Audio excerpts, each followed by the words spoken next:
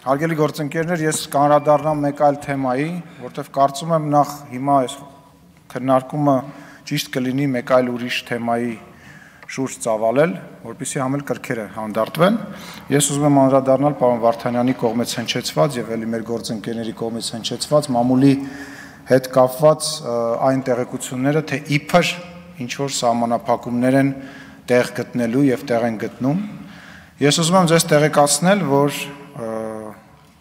Սամանապակում բառը օգտագործելը ըստ իս սխալ է, որովհետև խոսքը գնում է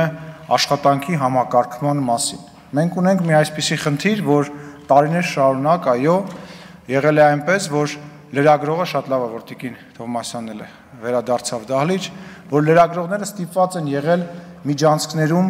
վազել падգամավորների հետևից։ Եղել են դեպքեր, որ падգամավորները սպառնացել են լրագրողներին, ապտակել են լրագրողներին,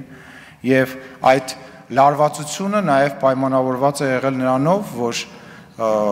այդ հարաբերությունները որևիցե ձևով կարգավորված չեն եղել։ Որևիցե փոփոխություն, որը կբերի կամ կարող է բերել ԶԼՄ-ների մասին օրենքում փոփոխության, դա չի նախատեսվում այսօրվա, այսպես ասած, ռեժիմի պարագայում։ Խոսքը գնում է նրա մասին, որ լրագրողների համար կլինեն հատուկ նախատեսված տեղեր, որտեղ որ բոլոր падգամավորները, այդ թվում նաև իշխանական խմբակցության ներկայացուցիչները հնարավորություն կունենան ճեպազրույցներով հանդես գալ, իսկ իշխանական падգամավորական խմբակցությունը պարտավորությունը իր վրա վերցնում լրագրողների հետ պարտադիր մշտական շփման մեջ լինի։ Օրինակ, հանձնաժողովների նախագահները պարտավորված կլինեն մեր հանձնաժողովների նախագահները պարտավորված կլինեն ամեն հանձնաժողովի նիստից հետո կամ անձամբ կամ որևիցե մեկով, ում իրենք կլիազորեն, իջնեն հատուկ նախատեսված վայր, որտեղ պարտավորված կլինեն շփվել մեր լրագրողների հետ եւ համապատասխան տեղեկությունները տրամադրել։ Միևնույն ժամանակ բոլոր նիստերը, թե հանձնաժողովների, թե ազգային ժողովի նիստերը կհերարցակվեն եւ դրա համար նույնպես համապատասխան վայր կլինի։ Լրագրողները կգան падգամավորների սենյակ, երբ որ падգամավորը դրա ցանկությունը կունենա եւ կկազմակերպի այդ այցը, ինչպես նաև այդ այցը հետագայում ուղեկցող մարդ կլինի, որը կուղեկցի падգամավորի սենյակ, որից հետո նորից կուղեկցի դեպի ելք падգամավորներին։ Լրագրողները հնարավորություն կունենան ազգային ժողովի այգում падգամավորների հետ ցանկության դեպքում նաև շփում ունենալ, Նաև նախատեսվում է հատուկ վայր պատրաստել ազգային ժողովի ներքին բակում, որը գտնվում է այնտեղ, սրճարանի տեսքով, որտեղ որ падգամավորները կարող են թե մասնավոր մարդկանց ընդունել, թե падգամավորների հետ, թե լրագրողների հետ շփումներ ունենալ։ Եվ այլն, եւ այլն, եւ այլն։ Խոսքը կրկնում եմ, շատ մանրուկներ կան, չեմ ուզում բոլորը ներկայացնել, ասեմ, որ սահմանափակումների մասին խոսք չի գնում։ Խոսքը գնում է համակարգման մասին։ Որևիցե երկրում, որևիցե երկրում ես տեղեկություն չունեմ, որ նման ձևով լրագրողների մուտքը պետական շինություններում արտոնված է։ Ոչ Եվրոպարլամենտում, ոչ Ռուսաստանի Գոսդումայում։ Նման բան գոյություն չունի, հարգելիներս։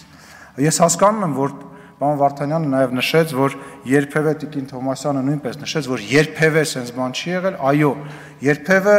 նաև հոկտեմբերի 27 չի եղել, երբևէ չի եղել ազգային ժողովի նախագահի նկատմամբ մահափորձ Հայաստանի Հանրապետությունում դա ընդամենը մի քանի ամիս առաջ տեղի ունեցավ ազգային ժողովի այս դահլիճ ներխուժեցին տարբեր անհասկանալի անձնավորություններ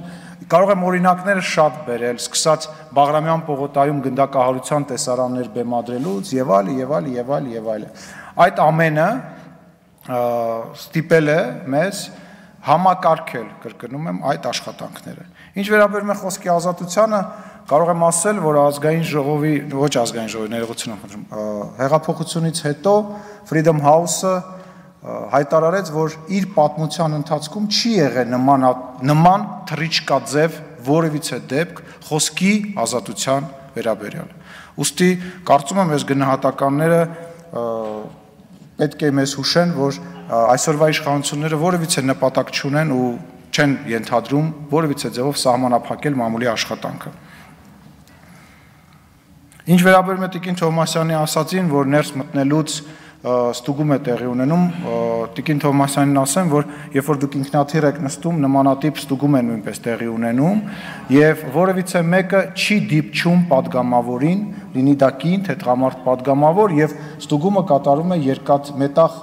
փնտրող սարքով եւ որևիցե մեկը падգամավորին չի դիպչում եւ ներողություն եմ խնդրում Տիկին Թոմասյան, բայց падգամավորները ներս կարող են մտնել միայն ստուգում մասնելուց հետո։ Չէ, ես հա, որովհետև ես հատուկ պահպանվող անձ եմ համարվում եւ կարծում եմ դա ինչ որ ձևով պետք է տարբերակվի։ Նաեւ նաեւ մեր աշխատակիցները, նաեւ մեր աշխատակիցները չեն մտնում Տիկին Վարդանյան, այնուամենայնիվ ես ներկայացրեցի ձեզ այն ինչ այսօր այս փորձվում է ներդրվել ազգային ժողովում, խե եմ ասում փորձում է, որովհետև տեխնիկապես հիմա թե այդ սենյակները, թե այդ բոլոր միջոցները, որպիսի լրագրողական գործունեությունը որևիցե ձևով չտուժի, հիմա իրագործվում են, միայն այդ ժամանակ մենք արդեն ռեալ փոփոխությունները կտեսնենք։ Շնորհակալություն։